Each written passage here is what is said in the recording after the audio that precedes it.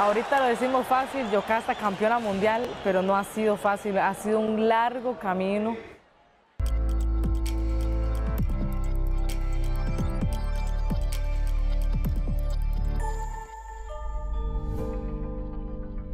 Yo sé que muchos ticos me tienen cariño, me quieren, porque he hecho las cosas bien, he ido al país a representarlos de la mejor manera. Soy Yocasta Valle, tengo 27 años.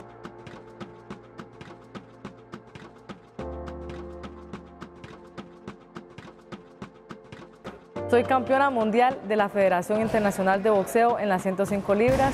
Bueno, mi papá y mi abuelito siempre han sido fanáticos al boxeo, les encanta.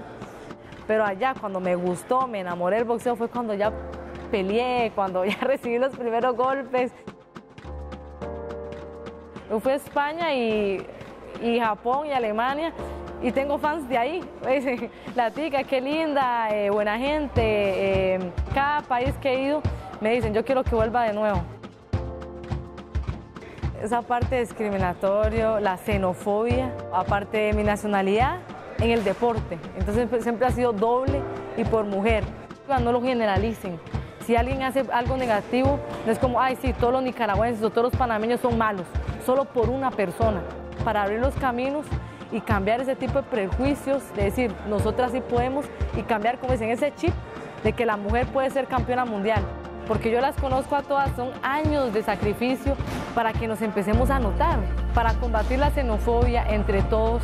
Todo empieza desde la escuela, se enseña desde los niños hasta el mayor.